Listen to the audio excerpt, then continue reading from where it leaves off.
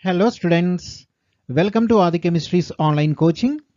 In this animated presentation, I will explain the hybridization and bonding in the methane molecule, including its shape.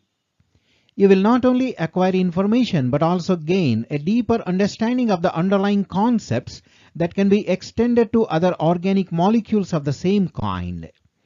I am Aditya Vardhan, the founder of adichemistry.com, Warangal. Before delving into hybridization part, let us examine the bonding in the methane molecule using the Lewis model. In this molecule, the central atom is carbon. It contributes 4 unpaired electrons for bond formation, while each hydrogen atom contributes 1 electron resulting in four bonds formed by the carbon atom. However, the Lewis model alone does not provide insights into molecular shapes or bond angles. To understand these aspects, we need to employ the valence bond theory and the concept of hybridization originally proposed by Linus Pauling. Let us begin by examining the electronic configuration of a carbon atom. With an atomic number of 6, its ground state electronic configuration is 1s2, 2s2 and 2p2. This can also be expressed as 1s2, 2s2, 2px1 and 2py1.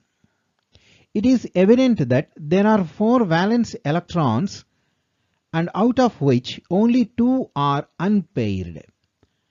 To form four typical covalent bonds, an atom typically requires four unpaired electrons. To achieve this, carbon undergoes excitation.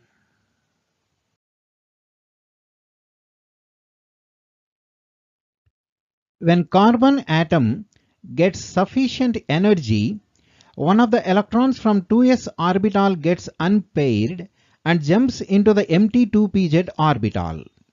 This state is referred to as first excited state. And in this state, the electronic configuration is changed to 1s2, 2s1, 2px1, 2py1 and 2pz1. In this state, there are four unpaired electrons Hence carbon can form four bonds in the first excited state. But before making bonds, carbon undergoes sp3 hybridization in the excited state by combining one 2s orbital with the three 2p orbitals. It is important to note that hybridization involves the intermixing of atomic orbitals with nearly equal energy. Here, the 2s orbital and the 3 p orbitals of second shell, they possess almost equal energy so they can undergo intermixing or otherwise known as hybridization process.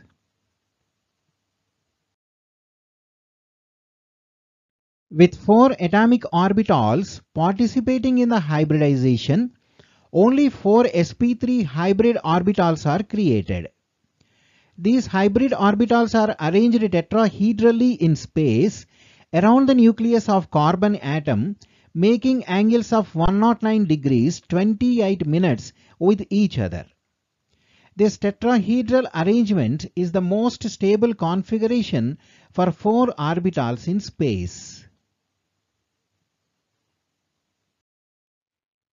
These hybrid orbitals are subsequently occupied by one electron each, resulting in the formation of four half-filled sp3 hybrid orbitals.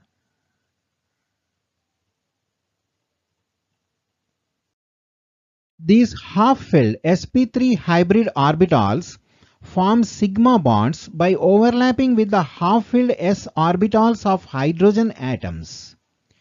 This results in the creation of four sigma bonds around the central carbon atom.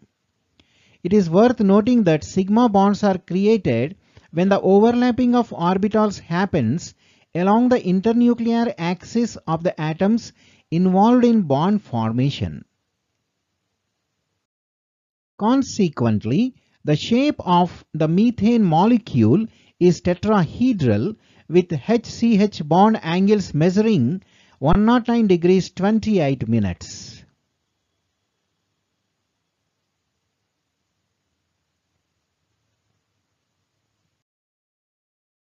That's all for now. Visit adichemistry.com for more information on this topic or search for adichemistry hybridization. I hope this presentation helped you in understanding this concept. So don't forget to like, share and subscribe. You can also find links to worksheets and other study material in the description section. If you find it difficult to reach them, don't hesitate to ask me in the comments section or drop an email to adichemg at gmail.com.